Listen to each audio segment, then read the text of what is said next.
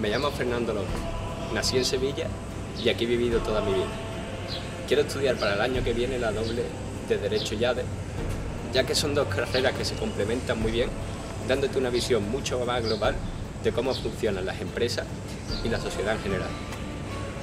Tambaleándose en nuestro país el, el bienestar social, se llegan a los 5 millones de parados.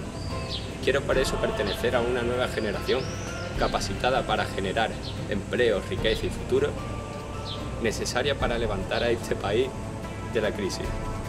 Por eso, eh, estos próximos años quiero estudiar en la Universidad de Navarra, eh, para llegar algún día a ser un líder suficientemente preparado como para saber lo que hace y para hacer bien las cosas al servicio de la sociedad.